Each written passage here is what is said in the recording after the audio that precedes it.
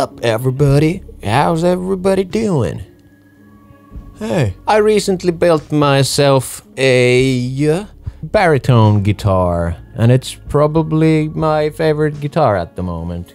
So, that's pretty nice, right? I built this out of the same plank of wood I used for my earlier electric guitar build. Huh? Huh? And that's why the body is sort of slim. But to my liking, this is actually a very nice shape to play. And it kind of fits my hands very well. Woohoo! The neck is just a pre-built neck I ordered from eBay. I've been wanting to try if these cheapo Chinese necks are any good. And I've gotta say, I've been very happy with this. It plays well, and it plays in tune, and it's just a neck. This wasn't like the absolute cheapest neck ever. I think this was around 50 euros. But that's because it's a baritone neck, and you can get regular electric guitar necks for around 30 euros. I don't think that's bad at all, considering they come with you know, the fretboard and frets and nut and everything. I would love to make my own neck for a guitar like this, but I'm really bad at, uh, you know, measuring stuff and making things carefully. So I figured I want this to be actually playable and to play in tune. So I'll leave that for another time. Thank you very much. I've never actually tried a Bigsby vibrato system like this. So I bought a cheap Bigsby off eBay for like 10 euros. And it fucking sucks. I think a Fender style vibrato system is way more ergonomic and nicer to play than one of these. But it looks cool. And that's cool. And now I've tried one. For the pickups, I bought some single coil lipstick pickups, of course, the cheapest I could find on eBay. And these turned out to be probably the worst pickups ever in terms of output volume. But that turned out to be probably the best thing for this guitar. The super low output volume makes the sound of the guitar kinda thin and bright, but I think that works very well with the baritone range. A lot of the times, baritone guitars tend to be kinda muddy, especially when playing chords, but not this one. This is way better than any, any guitar ever. I thought the output volume would create some noise problems, but at least for now, I haven't had any problems with it. I do need to turn up the gain quite a bit on amps and pedals, but I don't care. I don't give a fuck. And as a strap, I used my grandfather's old belt. And that's very um, important information for y'all. Now, let's see some footage of me building the guitar. Roll the clip, Lauri. Roll it. First I cut the wood for the body and glued two layers on top of each other to make it thick enough.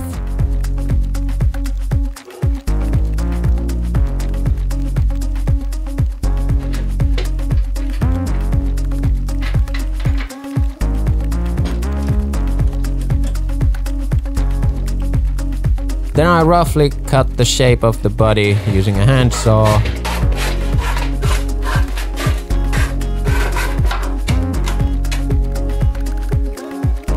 and then continued with the rasp.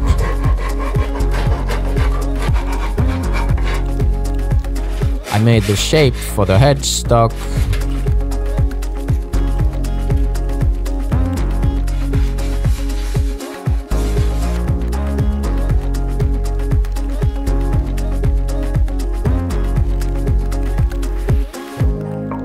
I made the neck pocket with a drill and a chisel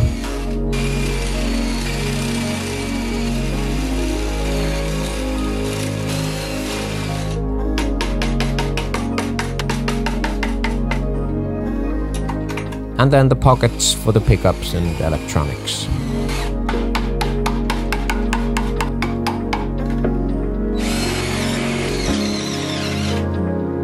I decided to stain the wood with some white stain.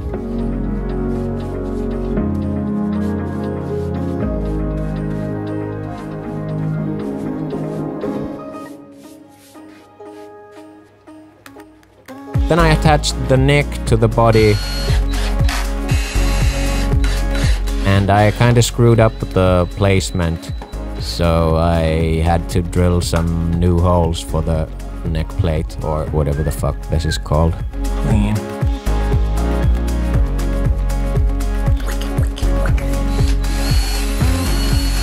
Next I put in the hardware and pickups.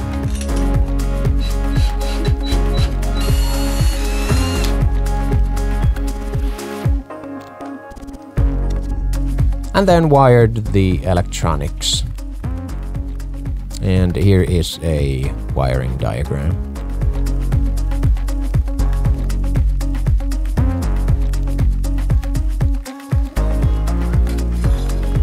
What the fuck?